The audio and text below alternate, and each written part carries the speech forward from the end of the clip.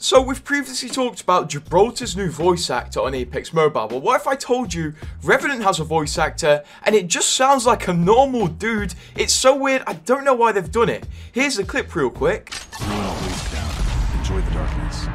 And then there's something even weirder. You can hear after one of the legends shouts out a voice line, and please tell me who this legend is, because I guarantee you probably won't be able to figure it out. Throwing thermite grenade. On contact. Danger close. Yes, that's Gibraltar also. What in the world is going on at Apex Mobile HQ? Anyway, subscribe for every heirloom.